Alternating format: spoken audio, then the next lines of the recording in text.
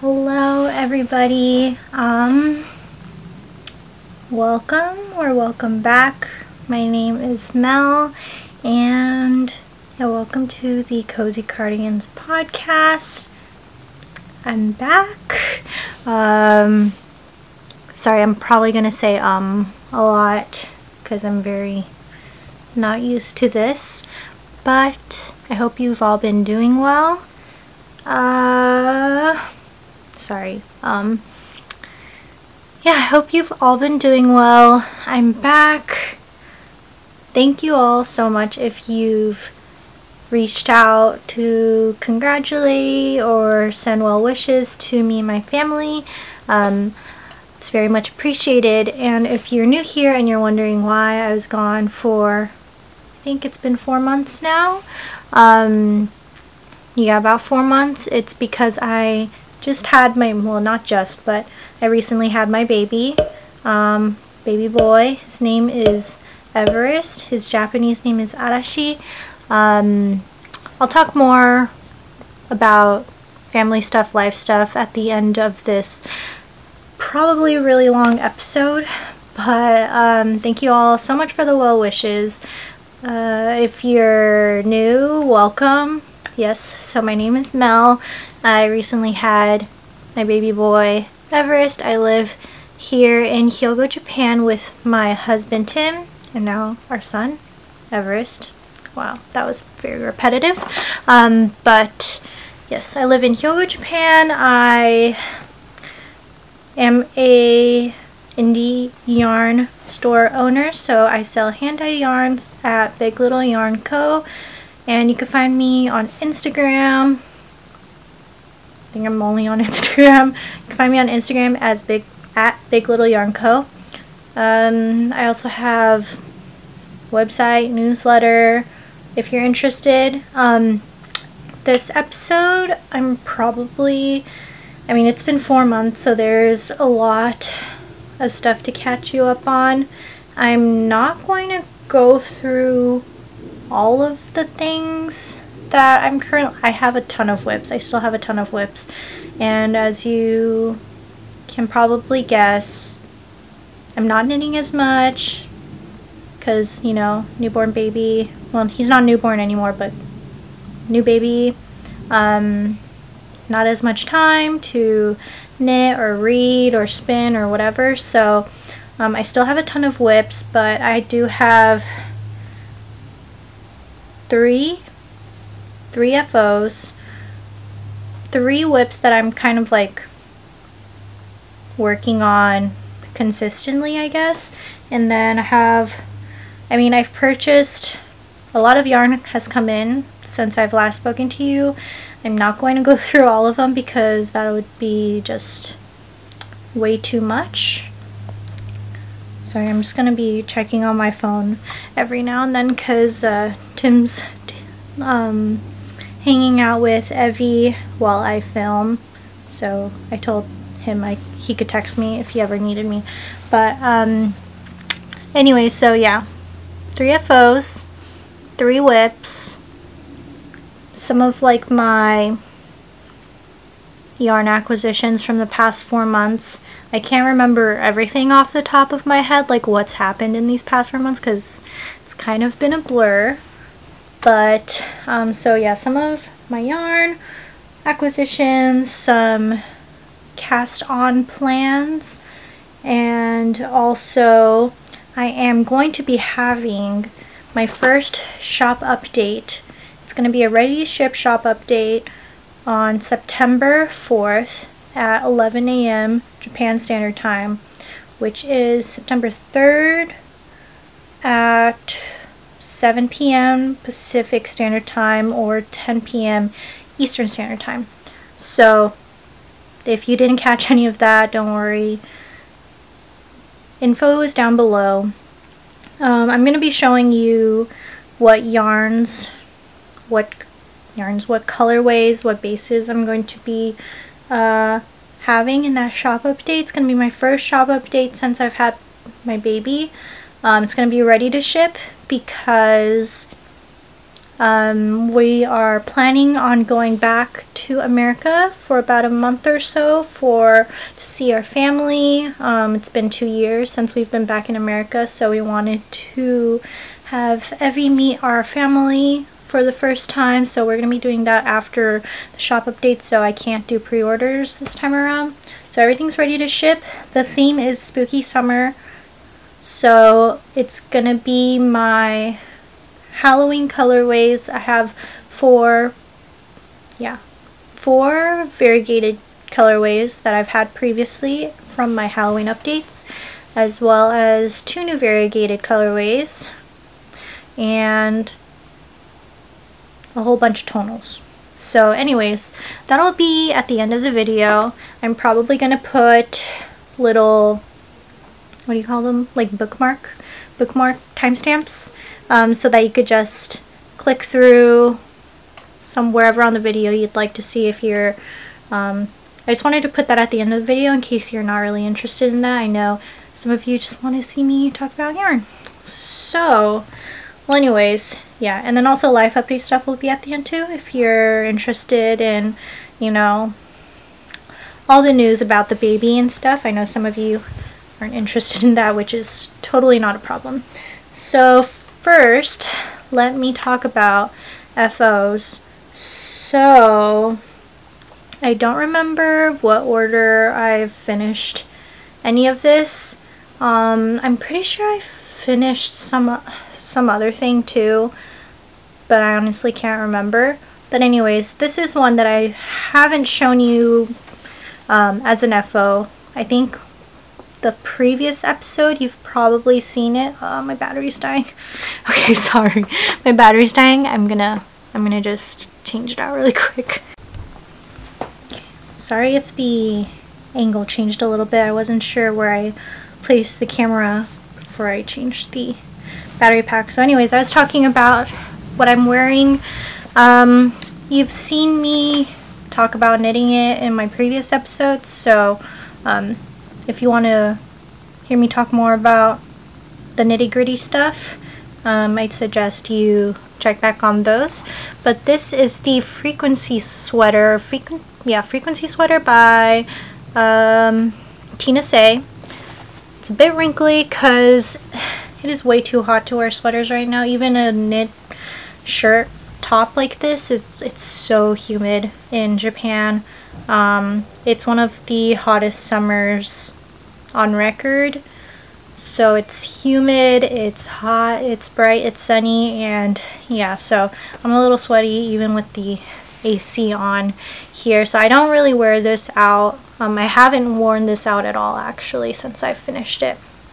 So um, this is my first time wearing it actually. Um, so it's really wrinkly, so I apologize. But anyways, so Frequency Sweater by Tina Tse. Um, the main color, so this pink kind of speckly variegated color is by Itobito Yarns um, and she is also a Japanese yarn dyer and this is her colorway Mocha Chocolate. It's this really pretty, kind of like muted blush color with a lot of these, um, I'm not sure if you saw it earlier, but it's got these brown, orange, yellow speckles throughout, which is super pretty. And then the contrast color, so this cream is um, Dendritic Agate by Akara Yarns. She is a Filipino-Canadian dyer. Um, we did a yarn calendar swap last year and that this was from her yarn calendar. This was the main 100 gram skein that came with her yarn calendar. So it worked out really well. I really love the yarn combo. Um, I used, or I used, I made the size 3, um, which was a size larger than I would have chosen before I got pregnant. So I would have chosen a size 2 based on my bust circumference. Before my pregnancy, I was a 34 size bust, but dur during pregnancy and post pregnancy, because I breastfeed, I'm a 37 inch bust. And so I decided to go with the size 3 because I wanted it to be roomier and also I like oversized things anyway so it's not like when my boobs size down that um, I'm going to be worried about it being oversized. So yeah, that's so I decided to go for the size 3 because I think if I chose a size, th size 2 it would have been it would have only had like a couple inches of ease, like one or two inches, and I like a lot more positive ease than that. So I decided to go for the size 3. I think for the arms though, I went ahead and followed the instructions for this size 2. So then um, what I did was I increased, you know, um, this is me going off the top of my head, it's been a while. So I think I talked more about it in my previous episode, so you should go back. But anyways, I kind of followed the top instructions for the size 2, and then I uh, went ahead and did increases for the yoke until I hit size 3, and then I followed the rest of the pattern of the body for the size 3. I'm sorry if you hear my husband singing to our son. Evie really likes it when Tim sings to him. So just ignore that if you uh, if you hear that on the background. But anyways, so yeah, size 2-ish 3 kind of like modified version. Um, I do like this top. One thing that I don't love about it is all this wrinkliness that comes from it. I'm not sure what exactly causes it. I think, so one thing that the pattern does is that it has you split not perfectly half and half from the back and the front. So usually when you split for armholes, you kind of, the pattern kind of tells you it tells you the certain amount of stitches, but what it ends up being is that half, pretty much exactly half of the amount of stitches of the body goes to the back, half goes to the front, and then um, minus the part that goes for the underarms. So, if that makes sense. So, it's even in the front and the back, essentially. The thing about this one that the designer, Tina, um, has you do is she has you put more uh, stitches on the front than on the back, I think to make up. Sorry, I'm a mess. My memory card was full, so I had to delete some stuff. So anyways, I was talking about the fact that Tina has you put more stitches in the front than in the back. And I think that kind of causes a bit of bunching if you don't have the bust to kind of fill it with maybe? Like if my bust was bigger maybe it will it would have kind of opened it up more and have eased the wrinkles a little bit? Because if I open it up like this the wrinkles kind of go away if that makes sense. But also it might also be the fact that you kind of have to increase pretty rapidly along this kind of segment here before you start the color work over here. And then also this one by one color work kind of causes it, it's like an accordion, like it kind of causes a bit of bunching. But I kind of wish that I kind of did the usual equal front and back thing because I don't think I need this extra fabric in the front than in the back.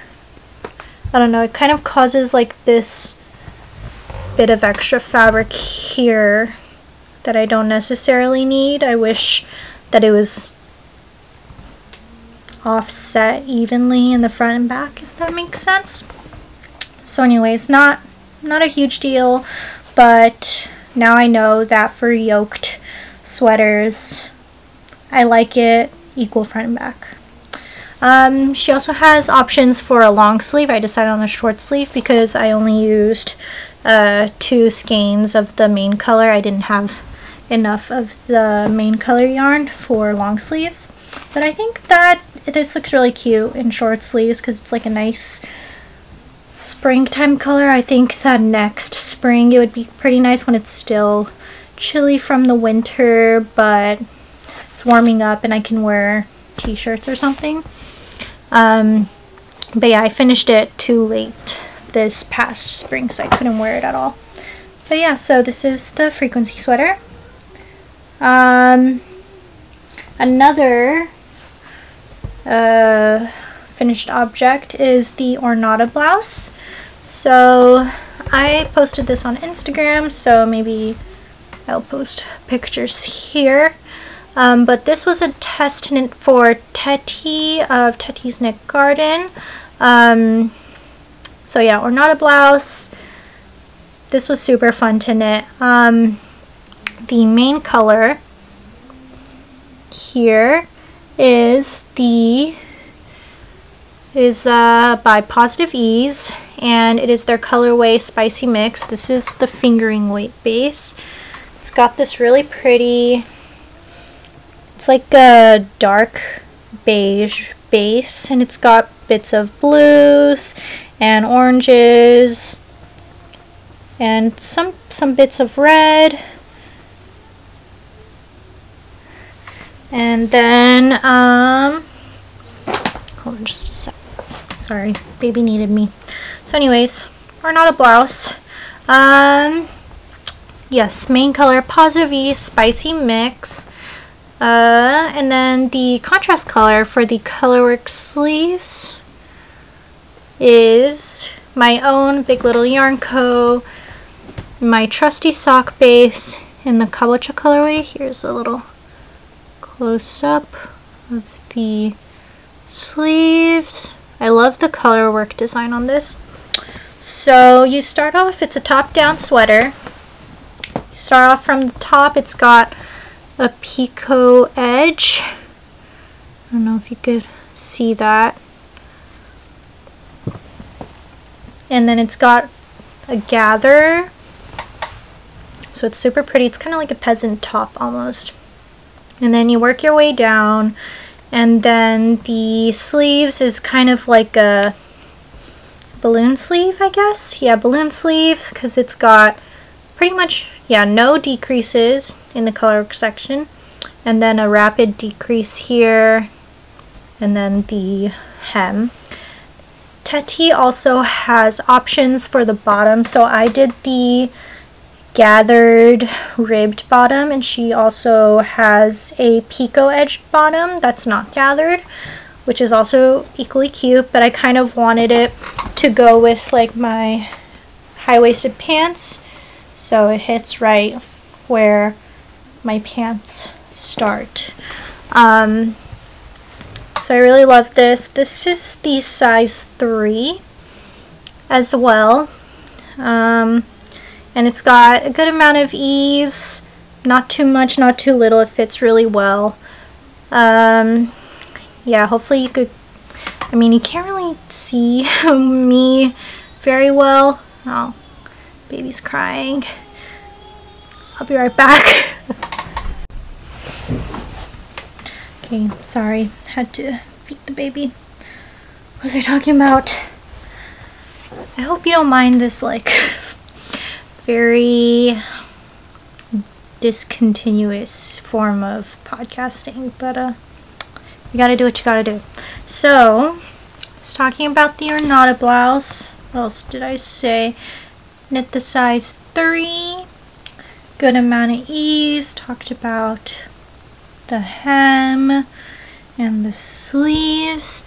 The sleeves I had a little bit of trouble with because I finished one sleeve before I gave birth and then the other sleeve after I gave birth, gave birth and I kind of forgot like how many repeats I did and so I had to knit the end kind of twice because I bound off and then I realized one sleeve was shorter than the other. So there's that. But otherwise, it ended up really nice. I love, oh, it's going to be so nice for fall. Like, I love the color work. I love how it turned out. Um, yeah, one thing I did was for the neck. So it's very, uh, it has a wide, so you can kind of see it has a wide boat neck shape to it. So I feel like because the sleeves are so much heavier because they're quite large and also has color work um, incorporated into it so it's a bit heavy it kind of drags the neckline down a bit so when I first tried it on the neck kind of went over my shoulders a bit. And so that was not quite the look I was going for. I think this is the front actually. So what I did was I did a, I'm not sure if you could see, but I did a crochet reinforcement all along. I'm trying to, trying to show it to you. Uh, it's a little hard to see. There's this line here, and that's the crochet reinforcement I put on. So there's no give to this. So um, I just found a random crochet hook I had and just uh, stitched, crocheted the along the edge right below these picot bumps. So that way there's no give. And so when I put it on it doesn't drag down over my shoulders. And I'm really happy I did that because otherwise I think even over time even like necklines like these they kind of open up just due to wear and just how it hangs off your body. So putting in a crochet reinforcement should help quite a bit um, there's a lot of tutorials on YouTube if you're wondering how I did it I just found one and did it. But I do re recommend that if you do have kind of like a boat neck style sweater and it's been kind of popping over your shoulder. Um, it's a good fix to do. So yeah, that's another FO. And then I have one more FO that I have not blocked yet, but I finished quite a while back. And it is the let me see which is the front? This is the Un Untuva sweater. I'm not sure how to pron pronounce it. It's the Untuva sweater by Ron Ronja Hakatello that's her last name anyways info oh, by the way all the info is going to be in the description box and I also I'm going to put the names and stuff on the screen as well in case you haven't noticed but um so this is the Untuva sweater. This was another test knit that I did. Um, yeah, I love it. So let's see. First, the yarn. The yarn is by... Oh my gosh. I'm blanking. Have it right here. Hey Mama Wolf Yarns. This is another... This is the same base, just a different colorway. It's by Hey Mama Wolf Yarns. It's their Shaw Wolf number 3 base, which is 100% organic wool, merino landrace, and black face sheep. So this is their dark brown colorway. This is just another skein that I had. But, um, so this gray and the cream are both a natural color, so undyed colors. And then Hey Mama Wolf works with natural dyes. And so the yellow, I forget what they used in particular, but it's a naturally dyed yellow. And here's a little bit of a close-up. So it's not blocked, so it's pretty wrinkly. Sorry. I just, I don't have time to block nowadays, but try to stretch it out for you a little bit. So here's the colorwork yoke. And then it's, um, has a double folded brim and it has just like a regular hem but I wanted to use as much of the gray yarn as possible And so I ended up doing like a high-low split hem. It's kind of rolling in because I haven't blocked it yet, but once I block it, it should stretch out nicely. And then I also, another mod is I don't like um, very tight upper arm sleeves. And so I didn't do any decreases until my, I pretty much knit straight until my elbow. And then I did decreases from there. And then also for the hem, I made it a little longer than called for. I think it called for only about two inches in the pattern or maybe one and a half inches. And I also went up a, me a needle size so that um, it kind of made this straight like it doesn't cinch in like a regular do I have a um, maybe I could show you on here so usually a hem would kind of cinch in like this because you'd go down a needle size and do ribbing. But this one I kind of wanted it to just hang and not go on my wrist too tightly. And so once I block it, I believe it should kind of open up a bit more like this. So it's a bit more of like a straight sleeve. And I did the same for the bottom, so I went up a needle size for the hem here so that it doesn't cinch in. It kind of just will hang straight once I block it properly. And for the split hem, so I pretty much just went until my usual length, so right where I like to, or not where I like to, but where I start my uh, where my high-waisted pants start. And then when I got there, I split the front and back evenly.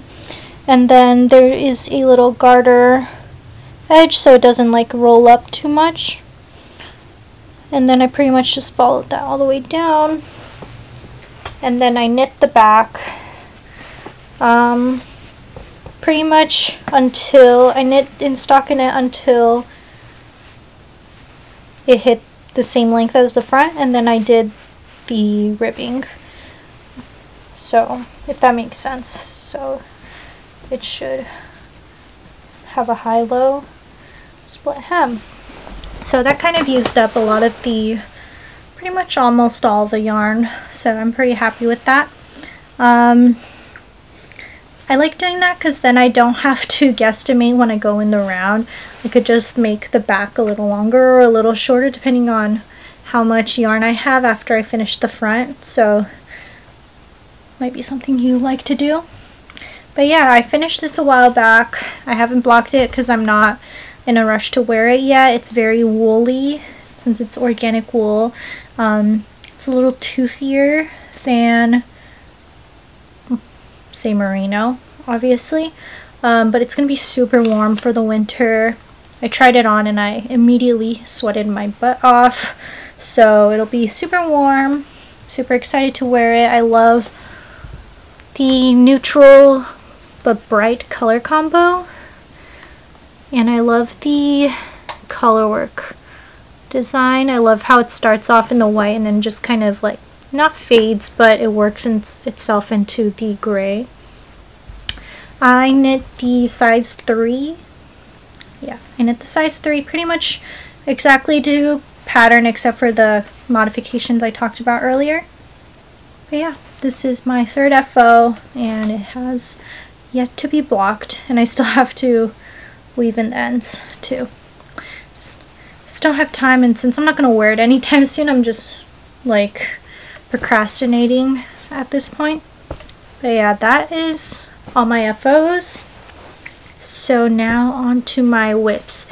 So for my WIPs, again, I have like a ton of other WIPs that I kind of have knitted on, but I'm not really like putting all my time into like I am for these.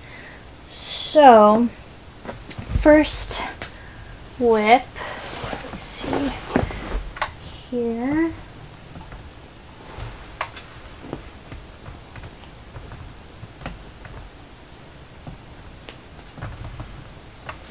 Okay, first WIP is this little sweater. So this is the In Ingrid Sweater Baby by Petite Knit. Um, I believe there's a women's size as well, women's adult size. But this is for a baby. I'm knitting the six to nine months size because that's how old Evi will be when winter comes. And it is so cute. So I finished the body. And the I like to work the collar as soon as I finish the body because I hate doing the collar last. So it has a double fold collar and it's got a bunch of these fun textures, mock cables, ribbing, double seed stitch. Yeah, it's a really fun pattern to make. I'm currently knitting the sleeve. I am using Knitting for Olive. Let me see if I could find a skein or a ball here. So I'm using this Knitting for Olive um, Heavy Merino. Knitting for Olive Heavy Merino in the colorway Fennel Seed, which is this really nice like muted green color. And uh, yeah, I'm it's just a fun knit to make so far. I haven't made a PetiteKnit pattern in a really long time.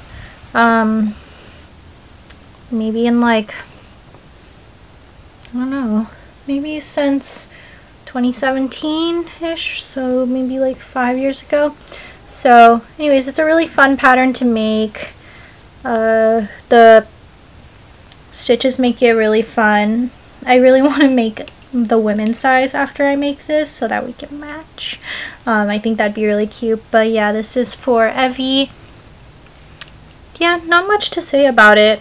I'm pretty much knitting it according to pattern. I'm not modifying anything because it's just for a baby. Not that he'll complain about it. So, so yeah, it looks a bit cinched in right now because of all the ribbing. But once I finish and I block it, it should um, straighten out quite a bit. But yeah, this is one thing I've been working on pretty consistently. So there's that. Another WIP I'm working on is this. This is the Felix cardigan it's a bit of a mess, so I apologize. This is the Felix cardigan oops, by Savory Knitting, I believe. Um, I forget her real name. I'll put the info on the screen. Um, Felix cardigan. It's coming along. I'm currently doing the other sleeve. I still haven't finished the body. I put it on some spare needles because I only have I'm currently using it currently using it I'm currently using Nudiden by Onair Oak Air in the tall bark colorway I believe holding it double it's this really pretty brown it has like bits of maroon I want to say within it it's kind of like it's very multi-dimensional and it's a lot softer than I thought it would be. So anyways, I only have one more plate of this. So I'm kind of worried about how much yarn, I, how much um of the length I should do. It calls for 10 inches. Right now I think it's about 8 inches. Um, so I don't know if I should go more. So I'm, I decided to just knit up the sleeves first so I could, so I know that that can, so I don't have to worry about running out of yarn for sleeves at least. Oops, sorry, I shook you. So I finished one sleeve, currently doing the other one. I'm not doing any modifications on this either. And it's got this really cute yoke, this little eyelet motif. And so once I finish this other sleeve, I'm going to see how much yarn I have left over and then just kind of guesstimate from there because then I just need to do the body and then the um, button band and collar. And it should be good. It's a it's like a nice chunky oversized autumn cardigan and I'm really excited for it. I really love the fabric that's created by the Newtondon. So it's got like some red specks in there. Yeah, super pretty. I'm really excited for that. Um, yeah, not much to say because I don't really, didn't really modify anything. Um, it's my first time working with Newton. I've worked with unspun wool before, so it's not, not really anything new. It's my first time holding it double though, and it's definitely a lot easier than holding it single, which is what I did when I first knit with it. But yeah, um, it's a nice quick knit because since I'm holding it double, it's like a worsted weight. Um, but yeah, other than that, yeah, I'm excited to wear this during the autumn. So that's that. And then my last WIP that I've been really concentrating on is this What the Fade shawl. So a while back I posted on my stories that because I was kind of reorganizing my yarn over here and I realized that there was this really nice fade that I created. Um, so I looked on my Ravelry favorites to see what kind of fade pattern that I could use it on because I know finding your fade, I've made that before, but that uses seven colorways and also I've made it before, but I frogged it actually after I finished it because I just didn't wear it that much. It's just like, um, just really wasn't my style. But also I think it might have been like the colorways I chose. So I do want to knit another one again some other time. But, um, yeah, well anyways, I didn't really want to make a find your fade. So I found, not that I found, but I saw that the What Your Fade shawl by Drea, Drea Renee Knits, Andrea Mowry, uses a five color fade and used brioche which was perfect because I really wanted a brioche project for some reason. I just really wanted a repetitive brioche stitching experience. So here it is so far. So you start off in the middle here and then you slowly start to make increases. Let's see if I could show it to you. So this is the right side. This is the wrong side. Either side looks super fun. So, let me let me tell you about the yarn, I guess. Um, right now there's four. I'm I'm in a fade segment right now. It's kind of hard to tell. But because of that, I have four balls attached to this thing. So hold on, let me situate myself. So let me see here. Um, okay. So color A. So the yarn. So the two colors that I started with here. Let me see if I could, if you could kind of see it up more up close. It's a bit hard to tell because my fade is a bit subtle which I really like. I really like how the fade's coming along. But the part here has my, this is just like a one-of-a-kind um, random tonal that I made while I was dyeing yarn. And then also in the back I used this lovely purple. It's from a Japanese indie yarn dyer and their shop name is Perroquet Parlé and it's another one of a kind of theirs purple colorway. Um, so it has these two together. So this fades into so this fades into this which is Graphic Dye Works. Um, I don't remember the colorway name so I'll put it on the screen.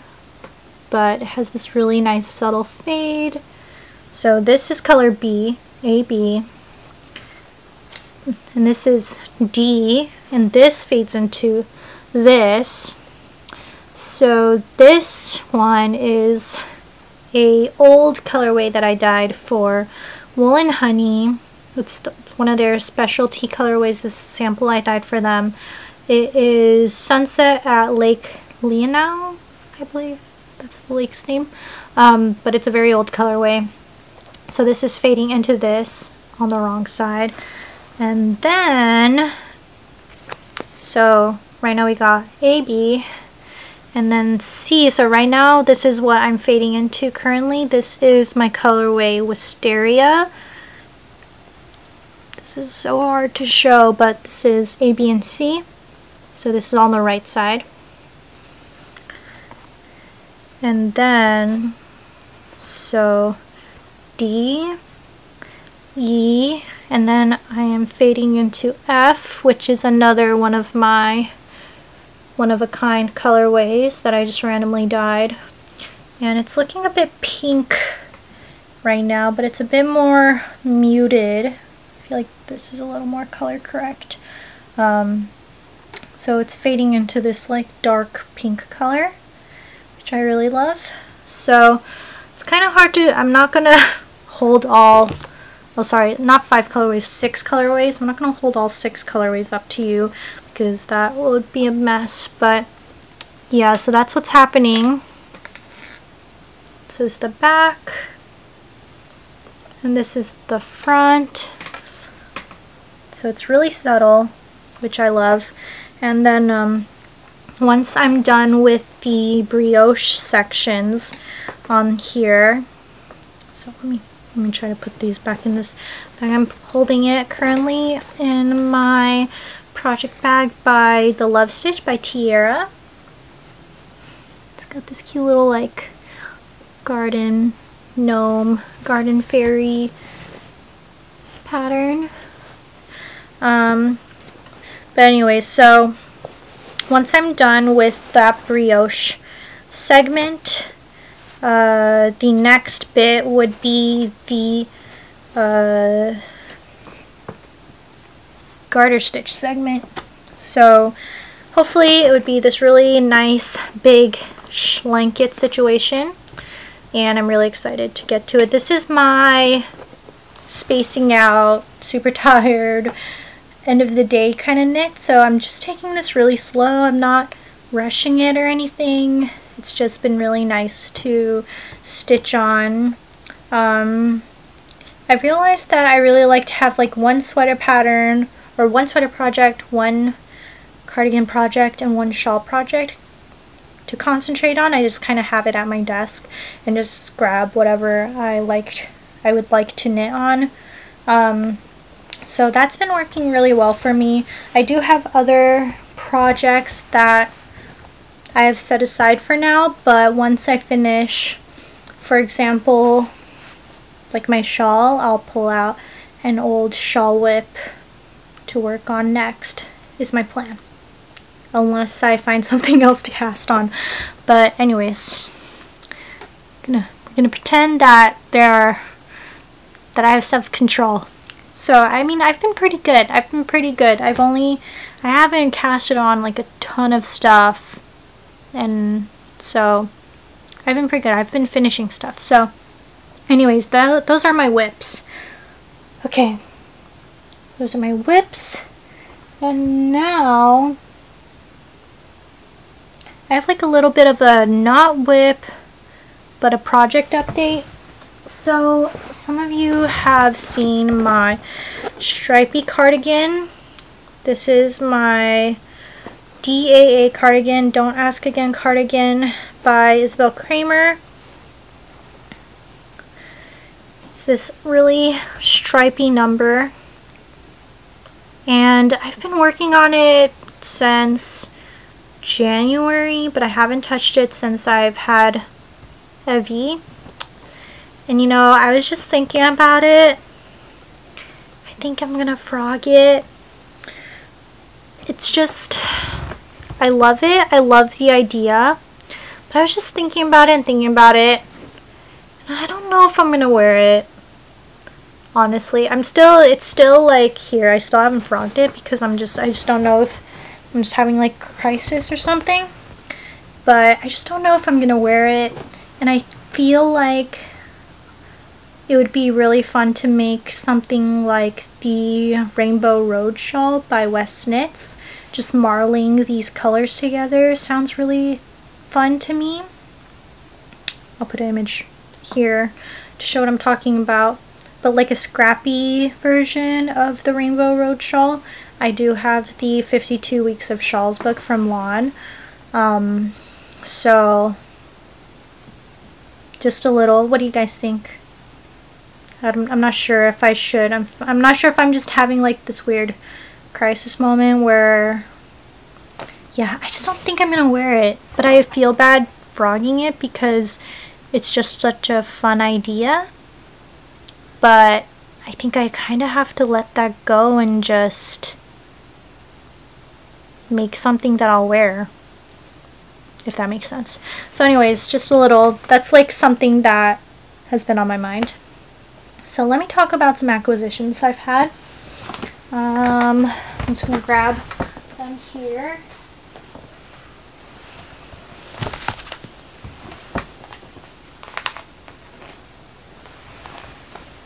So, let me see. Okay, some acquisitions. So I just have I just brought like single single skeins. I have sweater quantities of these.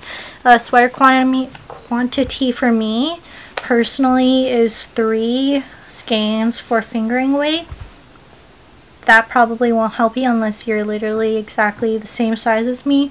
But a lot of people ask, so there, that is. Um, three skeins might not be enough for you. It might be too much for you for fingering weight.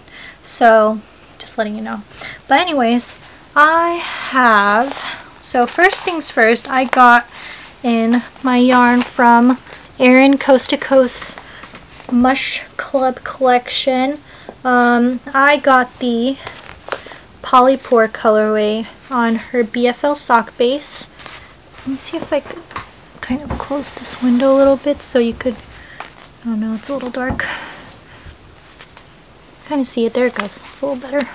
So this is her Polypore colorway on her BFL tweed sock base and is so good on tweed. I'm so excited to knit with it.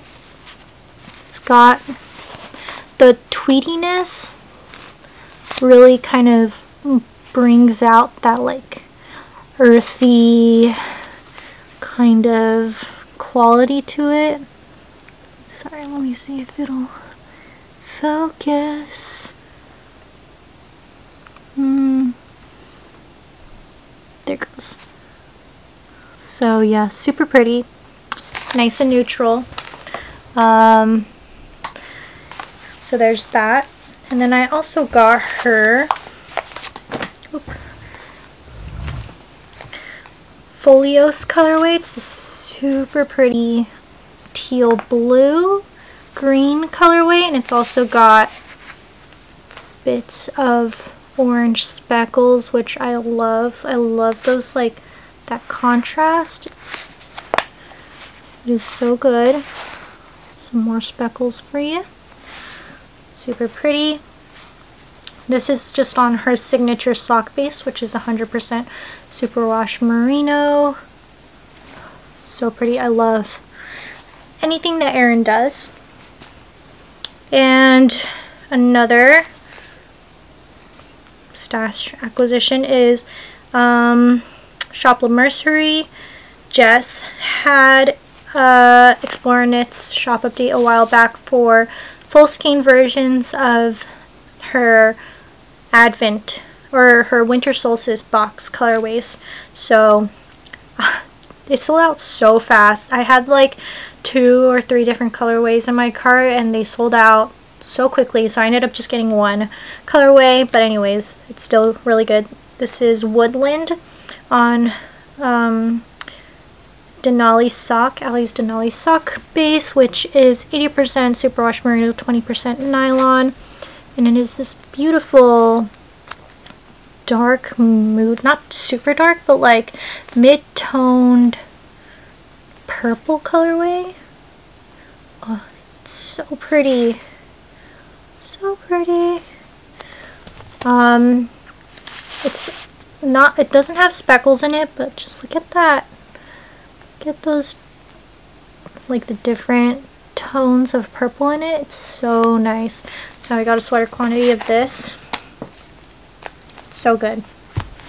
And then last, yeah, last kind of acquisition. No, just kidding. I have another acquisition after these. But um, there is a online yarn shop here in Japan called Yarnaholic who sells hand-dyed yarns from around the world and Knotty Pine Fiber Co. Uh, I've been a big fan of her stuff for a while and um, I missed her last year's advent calendar and it was so good but um, I saw that she shipped out some yarn to Yarnaholic and so when the yarn dropped I pounced on it so fast. So this is one of the colorways I got. This is Vanilla Pines on her big horn sock face. 80% um, superwash merino, 20% nylon. And it's this beautiful green color and you know, you guys know I love my greens. I love a good green. It's got these burnt umber speckles in it. So good. So good. And it's kind of like a yellow toned, like mustardy green color. But ooh, look at these speckles. So I got a sweater quantity of this. So pretty. And I also got a sweater quantity of this. This is Tumbleweed Heart, which is, oh, it looks so good on camera. but it's just this like burnt pink, burnt, burnt grapefruit colorways. Burnt dark grapefruit is what I want to call it. But again, bighorn sock. It looks a bit more orange on camera. It's a little less orange, a little more pink. It's a little hard to tell maybe. But it is so pretty. Again, it's got some good old speckles. This time I think it's like a dark brown, blackish speckles. And let me see if I could, oh, here's some, some speckle action for you. Super pretty. And got a sweater quantity of this as well. Anyways, big fan of Knotty Pine Fiber Co. So I got sweater quantity of that as well. And last acquisition I saw on Ravelry just randomly. Let me find. I totally forgot the name, obviously. Let me see, let me see. I saw this, not cardigan, shawl pattern, Slice of Light by Suzanne Sommer, just randomly. And I immediately put it on my queue because it's got brioche, it's got um, some they she used uh it's uh you use fingering weight yarn but also you hold part in parts of it I believe you hold mohair together. I'm gonna use suri which I'll show you in a sec. But um yeah I saw it and I love I just love the design for so much. So I went ahead and from my local yarn shop, which is A Alol, A Alol. I'm not sure how to pronounce it. Alol Yarns. Um, it's in Osaka. I went ahead and bought some yarns that would go really well together for it. So it calls for two colorways in uh, 100 grams each fingering weight, and then also 150 gram skein of a kid silk mohair lace base, but I'm using Suri alpaca. So I went ahead and got this. This is Lavandole. Lavandole? Not sure how to pronounce it. Lavandole yarns. Um, it's an Italian, maybe it's Lavandole yarns, but it's an Italian yarn brand. And these are 50 gram schemes, so I got two to make 100 grams total. But this is their their base is called a chic blend. It's 60% Abruzzese wool, 20% alpaca, 20% mohair. This is the colorway Barbera, and it's coming up really red, but it's more so like a maroon colorway. Not sure. Maybe if I hold it back a little. This is a little more correct. It's not as red as it looks on camera. So I got this, and then I also got this. So this is looking really bright right now. So you can kind of see that it's a bit more, this one's a bit more maroon than this. This is a bit more, definitely more red. So this is again Lavandole Chic Blend. This is their colorway Crue, Creusa. Sorry, I don't know how to pronounce it. So these are the two colors that I decided on. Maybe this you can kind of see the colors a little bit better if I hold it back a little bit. And then to hold with it together, this is from my new shop update. I took it from, I shopped my own shop update before it opened. But this is a new colorway that I will show you in a little bit. But um, this is a new tonal called Urami.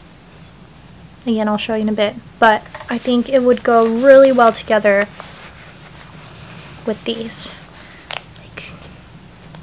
They were meant to be. They were meant to be. So this is going to be my next shawl cast on if I, when, once I finish. I promise I'll try to finish this first. I'll try my best to hold off, but anyways, I'm really excited for this combo.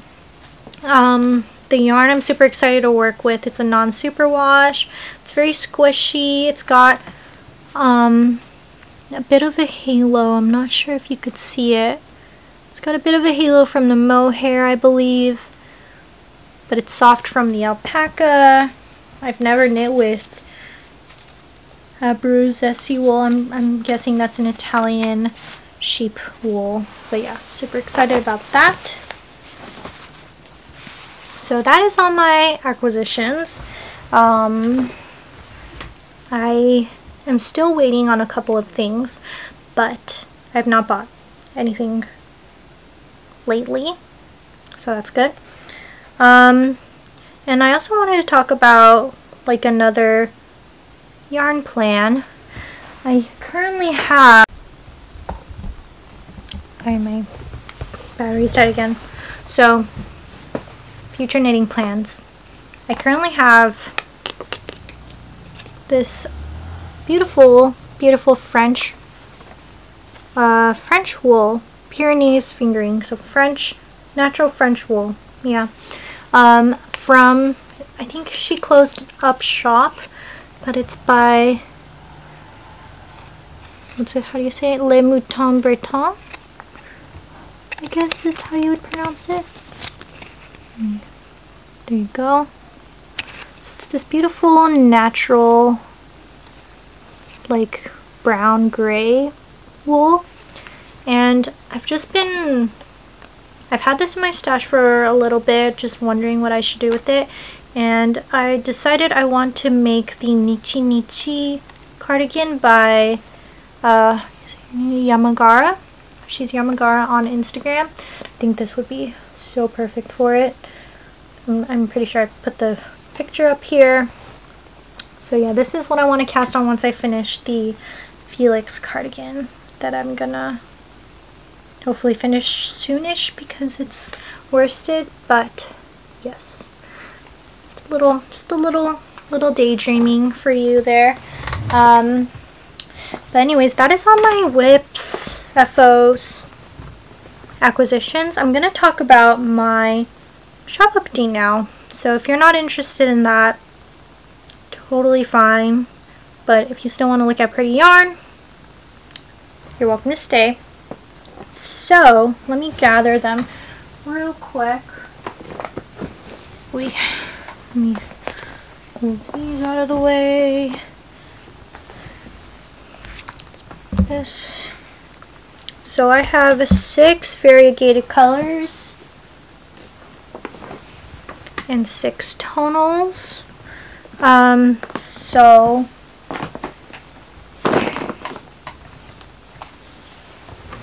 okay, first off, this is Hereditary. So these are all in my trusty sock, but I'm going to have, um, if you want to go on my Instagram, I do have all this info up there as well. And also, all this info will be in my shop newsletter, so I'm going to put the link to sign up for the newsletter below.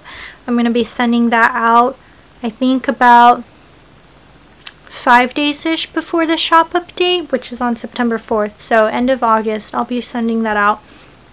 Um, so if you want to have all this information on hand, have all the links on hand, so I put all the links in that newsletter so that you could just click and check out because I do sell out really quickly for ready to ship updates, unfortunately. So, just putting that out there. But anyway, so these are all my trusty sock base. But I do also have two new bases coming into the shop. So let me also grab those so that you could see a comparison. Sorry, you're going to see me going up and down and up and down because I just don't have space here. But the first colorway that I'm bringing into the spooky summer collections, these are all colorways based off of spooky shows or movies that I really love. Um, so again, four of the variegated colorways I've had before.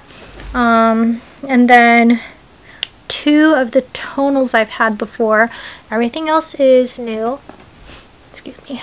So, first off, Hereditary is a colorway I've had on the very for my very first Halloween collection back in 2020. So, 2 years ago. And a lot of people loved it. I still have a skein of it. Um, I think I'm to use it for socks. But it's this kind of like moody rainbow of sorts. So it's got blues, greens, hints of red, yellows and oranges. It's got speckles. See if it'll, it's got speckles here. Let's go orange, red.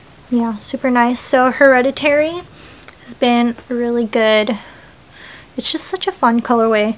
And then I also have, so my one of my new bases is an organic wool linen fingering weight base. And it has this, um, the base has a dark gray undertone to it already. So it makes, so if you could kind of see, it makes, it kind of mutes the colors it makes it a little more moody and then also since it's non-superwash it makes it a bit more water watercolory if that makes sense so the speckles are muted but I love how it looks so again organic wool fingering so I think it's 70% organic wool and 20% fingering so this is how it looks in that base Keeps. And then I'm also bringing it in Suri alpaca silk lace base. And I love how it looks on this base. So fuzzy. So variegated. I love it. Um, so this is Hereditary. And I will also have it in the usual, my usual bases. So like Superwash, Merino Fingering, DK, worsted. I'm also going to have it on cashmere sock. And I'm going to have sock sets. So, the sock set, for the sock set, the tonal companion for this is going to be Tsuki, which I've had before, and it means moon. Um, and I'm not going to show you it in the other bases because the tonals are pretty much very similar, just a little more muted in tone. If you want to see um, the kind of like the different comparisons, you could go on my Instagram and check that out. But I'm going to have sock sets, so this is going to be the main skein, and this will all have mini skeins of Tsuki so that you can have a sock set version of this. But this is the pairing, and tsuki means moon in Japanese, so it's this kind of very light, cool gray tonal, which literally goes with anything. I'm currently knitting, I guess I'll just pull it out. It's another WIP. I haven't worked on this in a while, but I'm using Tsuki for my uh, Stitch by Numbers shawl by Stephen West. So you can kind of see that. It's the main color. It's this very cool gray. So that's the first two colors. Second color is from last year's spooky Halloween collection. This is Over the Garden Wall, based off of the show, particularly the episode with the pumpkin people. If you know, you know. Um, that's my favorite episode. So it's this super autumnal orange fall Halloween colorway. It's got these speckles. see if it'll there it goes. It's got oranges and yellows and dark brown speckles. It's got speckles here and I'm not sure if you could see there's some red in there. It's just this fun autumnal colorway and it was super popular last year. A lot of people were bummed that they couldn't get it so I made sure to bring it back this year and this is how it looks in the linen. So, oh yeah, I also made new yarn tags. Special little yarn tags for this collection. I think it's super cute. Hmm, let me see if it'll...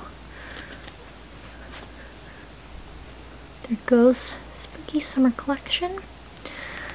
So this is it on the linen base. And then this is it on the Suri alpaca silk base. Oh, it's got some dust bunny on it. There it goes. Super autumnal. Um, love that. And then for the contrasting tonal for the sock set, so this will be available in sock set form as well, but it's this fun green color. It's called Kaeru so kairu means frog and kairu, which might sound the same to some people, but it has a different emphasis on a different syllable in Japanese. So kairu means frog, kairu means to return home. So if you have watched the show, the two boys are trying to return home and also they have a frog friend in the show as well. So it works out really well as a name for the contrasting tonal. So it's this fun green contrast and even though it's green with orange, it just works so well together for some reason.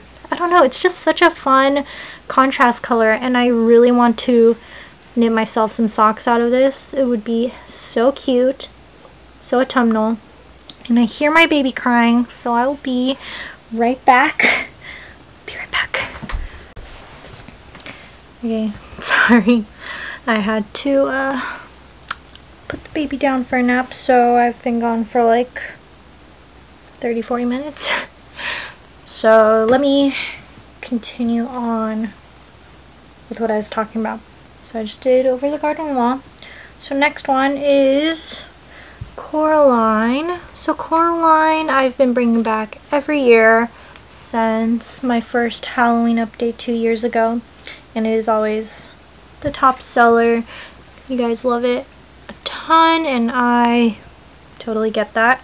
So for those of you who don't know, Coraline is mostly blue but very purple as well. Variegated. It's like very uh, soft variegation but it also has speckles, bits of greens, dark purples, light blues, teals. So it's this very, I don't know, it just like can work up into anything you want very easily. And the accompanying tonal for this is also a returning colorway. It is Ame so it's just this, not super bright, but it's not like a navy blue, but it's just like a true blue, like denim blue maybe colorway. So it's just like a not super high contrast sock set. Um, so ame means rain. Ame means candy as well in Japanese. It's like a blue candy rain color. And Coraline. And let me show you Coraline in the other bases. So here's Coraline in the trusty sock. And then here's Coraline in the Suri alpaca silk lace, which is beautiful. I think I'm going to take a couple skeins of these to make a cumulus blouse. Um, I think that'd be so pretty. So there's that. And then this is Coraline on the organic wool linen. Super moody and dark. So here's Coraline. Super pretty. Classic, classic Big Little Yarn Co. colorway. Uh, fourth one is The Witch. One of my favorite horror movies. Um, this was a colorway from last year and it's this light gray, I mean, yeah, light gray base with parts of dark browns and greens, bits of blue, black speckles,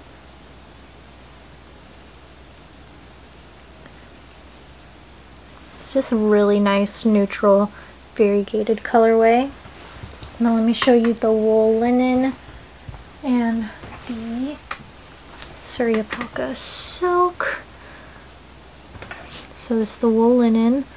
So as you can see, it's very kind of like a muted watercolory version. And this is super nice fuzzy version. I love how it, the Suri alpaca kind of makes the blue pop a bit more. So this is the witch. Oh, I love this one. I really want a cardigan in this colorway. I feel like these two held together would make a really cozy cardigan. Cozy cardigan.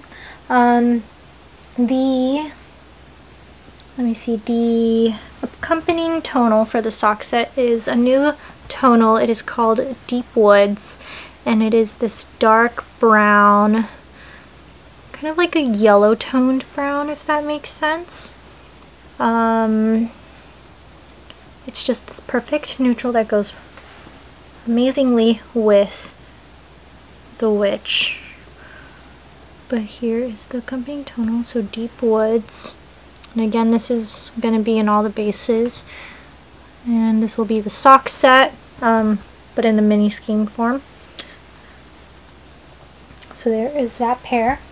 So two more pairs left. So two more pairs, two new colorways. So this first one is called Ringu, which is the ring. And uh, I'm sure you've heard of the movie, very famous Japanese horror movie that's also been remade into the American version. But this colorway, I took inspiration from the haunted VHS tapes, so like very fuzzy, very like all that noise from old VHS tapes. If for those of you who remember VHS. Um, so lots of speckles in this one, which is so fun. Very moody. And like I took, um, also took inspiration from the well that Sadako comes from if you know what I mean. Love this. Um, so the linen and Suri. So this is the linen version. So yeah, very watercolory and more muted. This is the Suri Alpaca. So it's like a fuzzier version. And here are them. Here's the three of them. Just trying to like, just trying to focus on my face, but here's the three.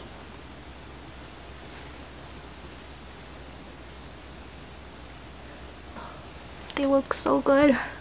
So Ringu and the accompanying tonal is kage and kage means shadow in Japanese. So these will make really cool socks. Um, kage is just this neutral, perfect mid-tone gray. So not black, not light gray, but it would make an amazing contrast color for a lot of things like um, this with Tsuki would make an amazing colorwork sweater. Um, this would also go really well with deep woods too, like this as a trio. Well anyways, let me show you the combinations later, but first, so this is the pairing, so Ringu and Kage. So this will be a sock set as well. Last but not least is Ju-on. Ju-on is the Japanese name for the movie The Grudge, which I'm sure many of you are familiar with. So The Grudge, and it's got black for, you know, the hair, red because, you know, I don't want to spoil the movie for you, but there are some scenes that involve red fluids. That doesn't sound nice, but anyways, this, I love how this colorway turned out. And it doesn't even, it looks, it's based off of a horror movie, but it's gonna be, it would be so much fun to knit with this. So it's got fun, dark red speckles in it. You can see it's got yellows reds obviously. It's also got black speckles. And yeah it would be super fun to make socks with this but also um, it would be really fun to make like um what do you call it? Those um purposeful pulling is that what it's called? Intentional pulling projects.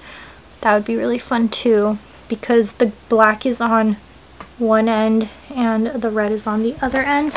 The accompanying tonal for this, oh actually let me show you the wool. Organic wool linen looks like this. I love this on the wool linen base. Here it is. If it will focus. So it's like a softer, grayer version and this is the Suri alpaca.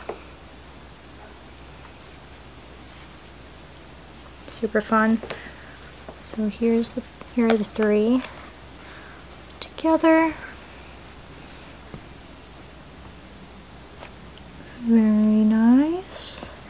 And the accompanying tonal is urami. So um, if you remember when I showed you the shawl that I wanted to cast on. This is Urami on the Suri Alpaca. So this is the Urami on the trusty sock base. And it's just this dark, not burgundy red, but more like a, more like a jewel toned ruby red. And it would make an amazing contrast color. Contrast heel toes cuffs for socks but yeah, so this is the accompanying tonal Urami means um, grudge in Japanese. So yeah, so those are all the colors. And I wanted to show you some some fun combos if you're interested. So here are the warmer toned colorways so far. Let me Sorry, it's like a mess here. But I really love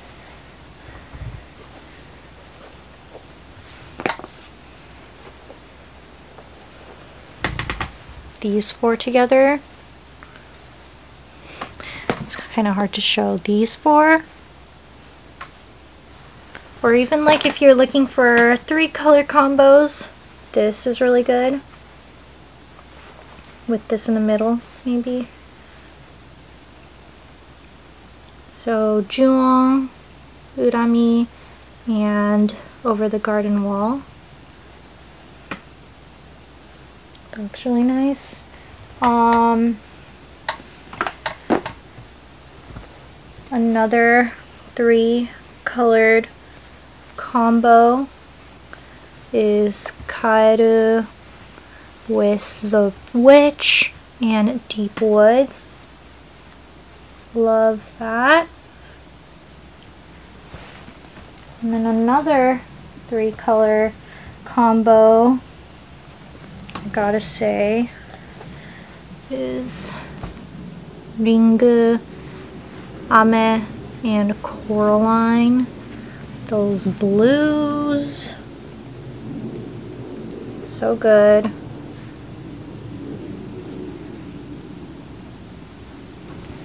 And even adding in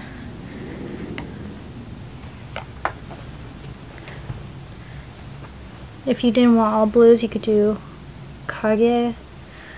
Or if you didn't want kage Tsuki these. These are great.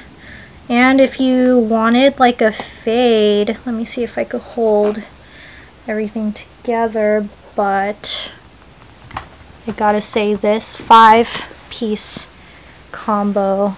Let me see if I can hold it like this. Five piece combo is good so good. I was looking at this the other day. So Kage Ringu Ame Coraline Tsuki oh my gosh. So hard to hold. Sorry. These five would be amazing These five. So, so good. Another five color set. Did I show you this already? This was just on the floor. But, and I just saw this, but look at this. How autumnal is this? Love that. Um, let me see if I can make like a warm colored, warm toned fade. So there's these three, three, four. I feel like honestly, okay, I'd have to use the green maybe. The green would be more of a contrast, so it'd be less uh, fadey. But ooh, look at this. Okay, I'm holding it so weird because it's so hard to hold five skeins at once. Let me see. Okay, here, how's that? So, Deep Woods, Over the Garden Wall, Urami, Ju-on, Tsuki. Ooh. Ugh. this combo is also amazing. So there's so many combos you can make. And I'll be putting up stories about, sorry, it's something in my eye, stories for combo requests and stuff like that. Um, you know, and just because things are paired, like, you know, how I said that, for example, Witch and Deep Woods are a pair, so for the sock set they're a pair, but that does not mean that it only goes with Deep Woods. For example, like this with Kaeru is so pretty. This with Tsuki, again, so pretty. Like, okay, let me grab this with, hold on.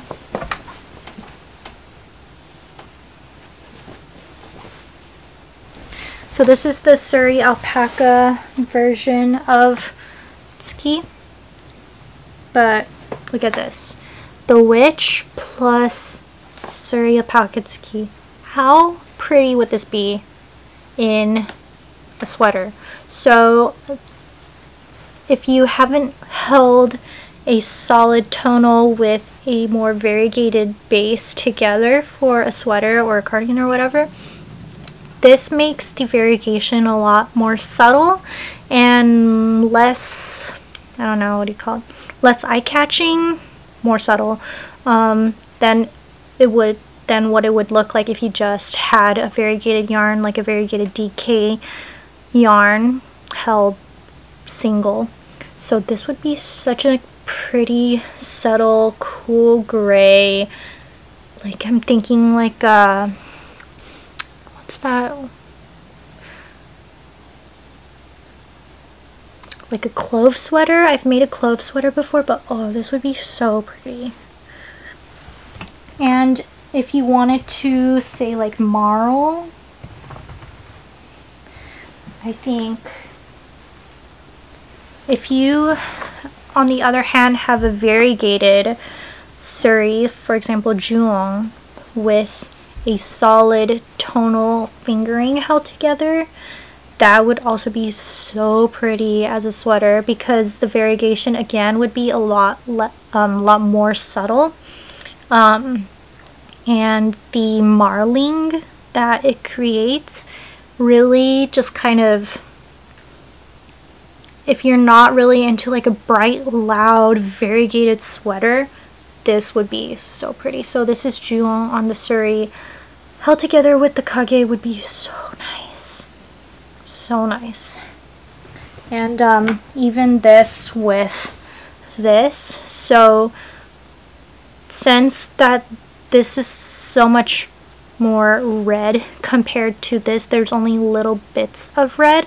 The gray and the red would marl together super nicely and it would tone down this red. The gray would tone down this red um, at the gray bits and then the white and red parts would kind of brighten up and lighten the red in those bits. So it would make a really really beautiful sweater so you kind of have to think about that if you are new to um, holding Suri alpaca with fingering weight stuff. Um, there's so much you can do and another example, let me see. Another fun example would be like Ame held together with Ringu on the Suri since there's so much variegation here, if you held these two together, so both Ringu on the Suri and on the fingering weight, so I'm going to have 100% superwash fingering as well as Trusty Sock, and Trusty Sock, for those of you who don't know, is my 75-25 superwash merino fingering weight base. Superwash merino nylon fingering weight base, sorry. If you held these together, the contrast between the variegations just kind of muddle it sounds bad if I say muddle, but it really blends the variegation together. So you don't see like the, for example, these speckles and like bits of jet black that you see here. It won't be as prominent if you use both Ringu um, versus if you just held this single. Like for example, I'm going to have Superwash Merino DK um, available as well. So um, if you use just that DK base, you'll be able to see all the speckling, which is beautiful. Like if you love the speckles, I highly recommend just holding the yarn by itself. Um, that way you can see all the speckles as you knit, so satisfying. If you, on the other hand, really love the fuzziness, like that fuzzy, marled, I don't know what you call that, like subdued variegated look, it would be really fun to hold both of the same colorway together in different bases. Likewise, Ringu on the Suri with Ame um, as the fingering weight base. The, high, since it's so highly variegated, it would be so much fun to knit together. Um, yeah. And you don't have to just use, you know, superwash merino base. You can also definitely hold the Suri alpaca with wool linen these wool, organic wool linen is definitely toothier than, you know, what a superwash merino would be because it's minimally processed. It's organic wool, which means that you know they don't use pesticides, chemicals, that kind of stuff on the sheep. Um, so it's very minimally processed. Sometimes I find hay in here. it smells very, still smells pretty woolly, even after I dyed it and rinsed it and all that stuff. So it's a little toothier than what a merino would be. Um, and there's linen in it as well. So you could also hold the suri with this together. It'll soften the feel of the fabric a little bit, but also it'll definitely, again, make it a little more subdued and you'll be able to get that um, grayish undertone that's not really on the regular sock base. Because when I dye the sock base comes in as it, the undyed form is just pretty much white like very white cream. Um, but since this has a very um, beautiful gray undertone to it when it comes in holding this together ooh, that'd be so pretty like a shawl or something I want to say oh, that'd be so nice so yeah, so many options, so many things you can do. Ooh, and then like um another fun combo would be where did it go? Like over the garden wall with urami. This would be such a nice, cozy autumnal sweater. And then let me do some tonal combos for you because uh, that's always fun. So like uh, if you wanted to do a colorwork sweater like this, Deep Woods, Ski, and Kaeru. These are a fun trio. Or if you wanted to add another one in, Ame. And you could even like just all of these are so easy to just interchange, so interchangeable. Like just take this out, this makes it fun. Take Kaeru out. This is also super nice. Take Tsuki out. This is nice. Like, I tried really hard to make sure that the colorways in this collection are very interchangeable, like easy to combine. Um, so that you can just choose what you like and know that when you get it, you'll definitely be able to make something beautiful out of it. So yeah, lots of lots of options. I could go on and on and on and on, but um, I'll be talking about it more on my Instagram. I'll definitely be putting up um, Instagram story question boxes so that you can just ask, you know, if you want to know what matches uh, what kind of colorways I would recommend for certain patterns, for example. Um, I'll be putting that up there. And you could always just email me or DM me on Instagram and I will be happy to help you figure out what you want to purchase. Um, okay, I think that's it for yarn related things.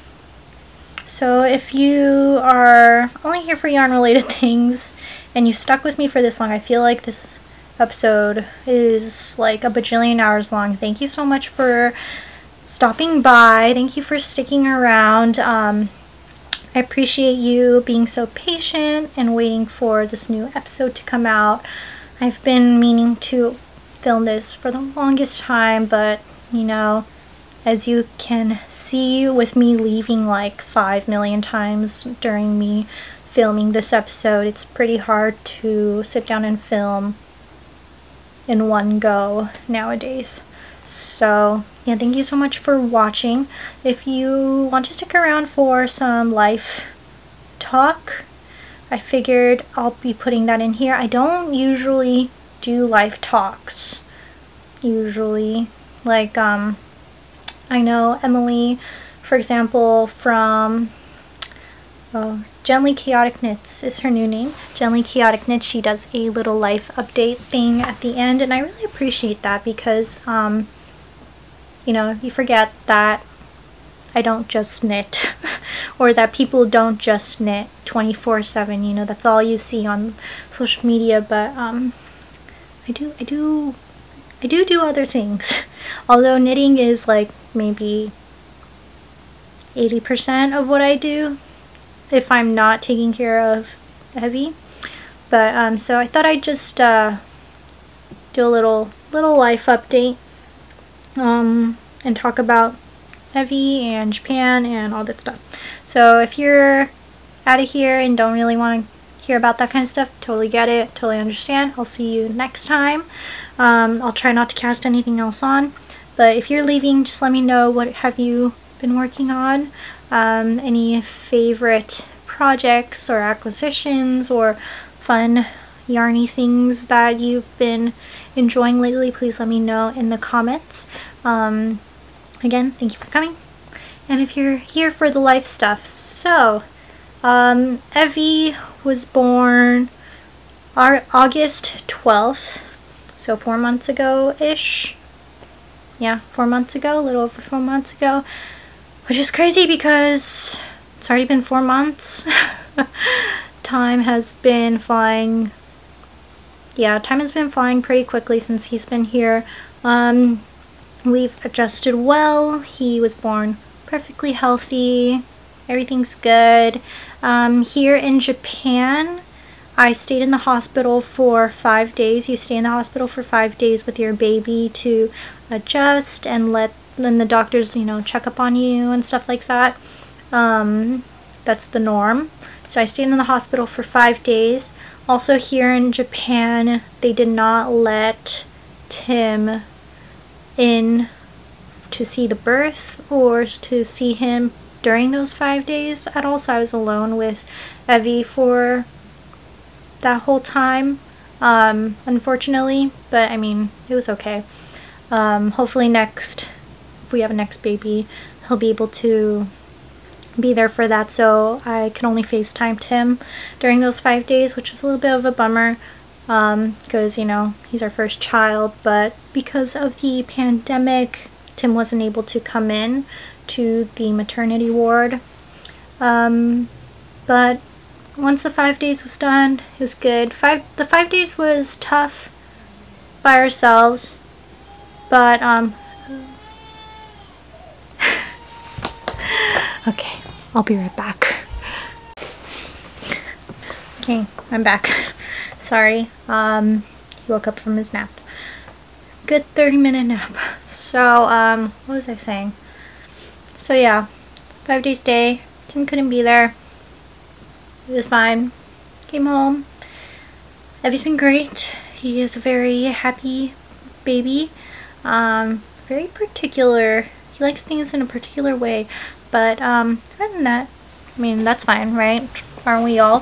So, um, We've been just hanging out mostly at home because it has been so hot here in Japan. Um, it's been in like the 90s, I guess, in Fahrenheit wise. Um, and it's been really humid and babies can't regulate their body temperature very well. So, um, so we've been trying to keep them at home where the AC is because we don't really, we don't drive because um, we use trains and we have to walk to the train station and it's been way too hot for a baby to even be out there for like 15-20 minutes. So um, we've only been going out when it's been a little cooler. Um, so uh, not going out so much, but um, again, the reason why I'm having this shop update as a radio ship is because the, uh, we are going back to America towards the end of September, staying for about a month. Um, so we're going to go visit our family. We haven't been back in the U.S. in two years um, because of the pandemic. Uh, Japan has recently relaxed its um, its regulations for Japanese citizens and people who hold visas. So that's good. so we are able to go out and see family. Um, so we're all very excited for that. It'll be Evi's first international flight and I'm really nervous about it. So if you have any international flight tips uh, with babies, he'll be five months old then. Um, so if you have any tips, please comment down below. Um, uh, yeah, but we're excited. It'll be fun. Um, what else? I've just been really busy dyeing all the yarn. Um, last ready to ship update I sold out in five minutes. So I have dyed much more than before, but yeah, hopefully it lasts longer this time than five minutes. I had a lot of angry emails. But, um, so hopefully you all get what you want. Again, if you don't want to miss out, you can sign up for my email newsletter. I put all the links for all the listings in that newsletter so you could just click and go. That is probably my tip. Um, that way you don't have to search, you could just click the link, check out, and you can check out with multiple orders. I always combine orders and shipping and refund shipping overages. So that's an option. But anyways, yeah, I um, recently got my uh, booster. So I was kind of out of commission for the weekend. Today is today's Tuesday by the way. So I was out of commission Saturday, Sunday and uh, so finally felt better on Monday, but I didn't want to work because I felt finally felt better, so I just wanted to have like a nice day off. Um, so we got pancakes uh, me, Tim, and Evi got pancakes. Evi did not eat the pancakes, but me and Tim did, and that was fun. Um, yeah, other than that, just been really busy with shop update stuff. Hopefully things calm down. Um, I probably, what the next podcast be? I'll probably try to film something before we leave for America so that because I probably won't be filming anything while we're in America. We'll see about that though because I mean I'm probably going to be really busy. I'll be shipping stuff out. I'll be, you know, taking care of customer stuff, be packing for the trip. So this might be another long not long, but maybe like a month or two hiatus again. Sorry. Um, but I just wanted to come on here and give you all a episode because it's been so long. So if you have been listening for the past, I don't know how many hours this episode is, thank you so much for sticking around and listening to me talk.